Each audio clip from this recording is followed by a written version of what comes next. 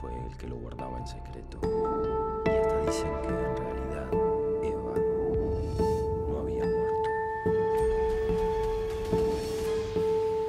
La convirtieron en una momia. No hay un solo cuerpo, Perdóname. son cuatro. ¿A cuándo trajeron el cuerpo de Eva Perón? Los cuerpos serán enterrados esta misma noche.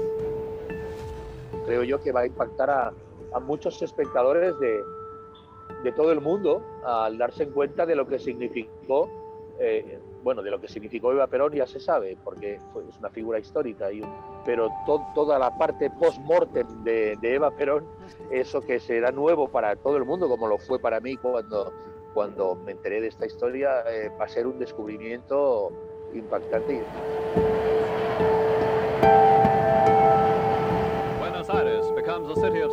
As a million people line its streets in homage as the body of Eva Peron is carried to its last resting place. The coffin is borne on a gun carriage pulled by 48 men and women of the country's labor organizations, the people to whom Eva Peron devoted her life.